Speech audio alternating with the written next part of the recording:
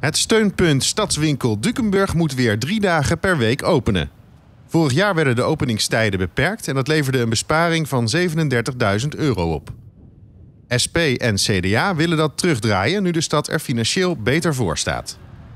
Bij het steunpunt kunnen mensen onder andere terecht voor het aanvragen en afhalen van een rijbewijs of reisdocument.